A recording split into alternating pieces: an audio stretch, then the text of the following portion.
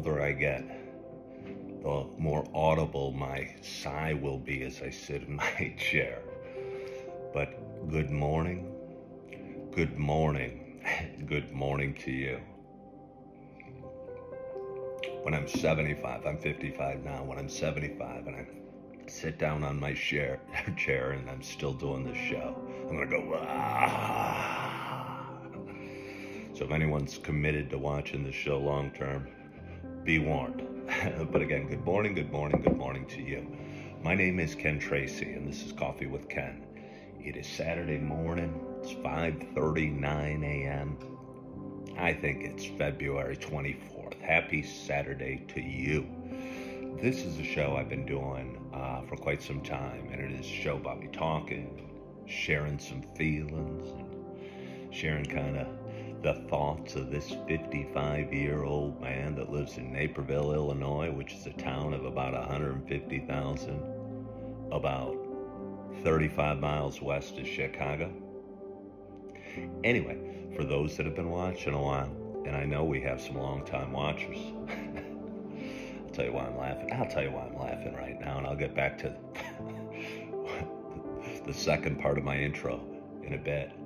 I live in a home with five children, a dog, two cats, and uh, um, I was trying to be quiet as I moved around uh, uh, this morning and got my coffee ready, and I was sliding the chair over. Uh, the metal legs of the chairs clanged together. and when you're in a really quiet, totally silent home at 5:30 in the morning, the sound of metal rattling together. It's the last thing you want to make.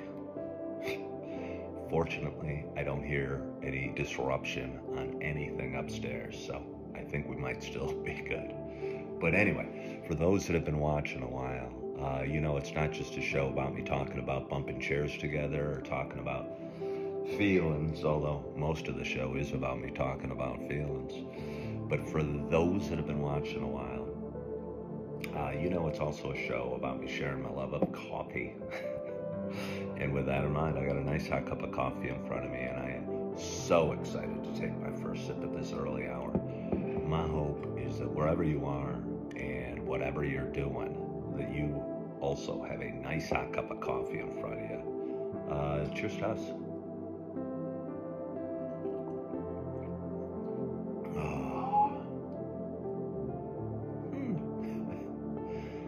Think I like it. I'm going to have another sip and then we're going to evaluate what it is together. something different. I know it, uh, you're all on the edge of your seat wanting to know. Patience is a virtue. mm.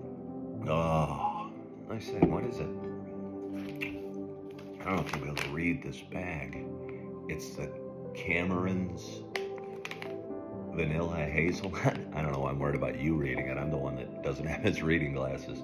But again, I think it says it's the Cameron's vanilla hazelnut.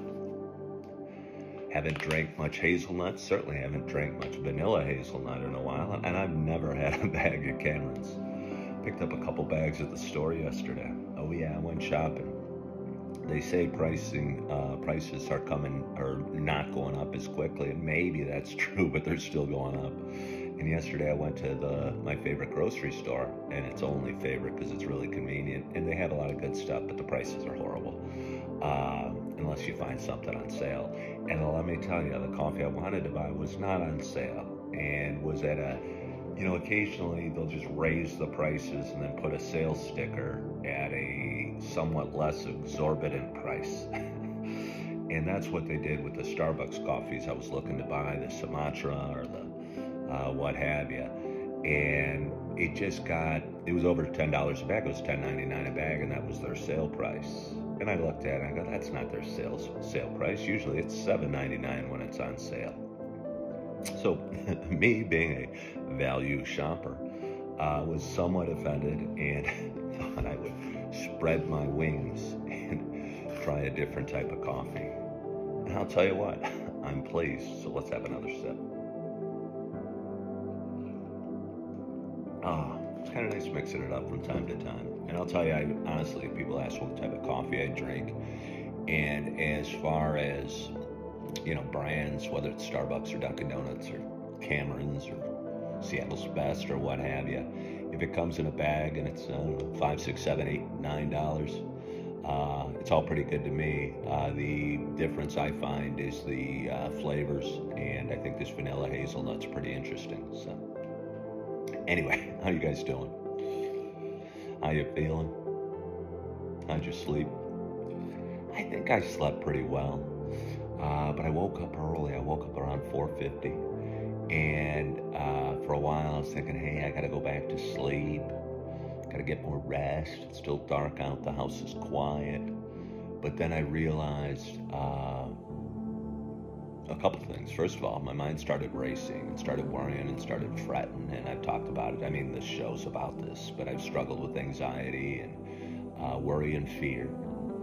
Uh, you know, usually during the night, that's when it strikes the hardest. And again, it was uh, about uh, just before five this morning on a Saturday, and uh, I was worrying and afraid and thinking, stressing. so I got up. Uh, but the other thing was last night when I went to bed, I uh, for the second night in a row, I watched a movie and I might have said this the other day, but The Equalizer, and it stars Denzel Washington as some sort of bad. He's a good guy. He's a really good guy, but he's so tough, and he. The bad guys start coming after him, but he has no fear and turns around and goes back after them. But anyway, really enjoyed the movie uh, a couple nights ago. He was almost like a superhero of tough guys and uh, it's kind of fun to watch. But I was had been wanting to watch the uh, Equalizer three the last couple nights because what the heck? If one's good, three's got to be better. You know what I'm saying? and uh, the last couple nights, I think I was worn out from my day, and I just got comfortable. And uh, instead of popping on a movie, listen to I don't know what it's called, but I don't know one of those relaxing Solfeggio sequence, some, I forget the name of it, but just kind of quiet, relaxing, kind of hypnotic, uh, meditative music that your brain kind of just kind of starts absorbing, if you will. And uh, uh, I don't know, pretty soon I start getting a little tired. It was like 7:45, and I go, wow, if I pop on the movie now, it won't be over till 10 it's no fun watching a movie while you're struggling to stay awake. You know what I mean? so, uh, uh, for the second night in a row, I just decided to drift off into the uh, solfeggio frequencies, I think it's called, and uh, relax and not worry about watching a movie and forgive myself that I didn't uh, watch a movie uh, two nights in a row. So maybe tonight I'll watch The Equalizer 3, and if I do, I'll have a review for you tomorrow. so anyway, one more sip of coffee.